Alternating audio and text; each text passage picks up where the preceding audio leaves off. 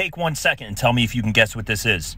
Time's up. Cold winter months are the biggest enemy to your griddle. Here's how you fix it. Step one, don't let it happen. But if you do, scrape, scrape, and scrape some more. Push that mess to the side and get rid of it. Now you have a clean, smooth surface. Crank up the heat, put canola oil, and let it burn off. After about 10 minutes, repeat the process and do this three to four times. Within an hour, you'll have it looking like this. To make it look even better and for a treat, slap some bacon on it.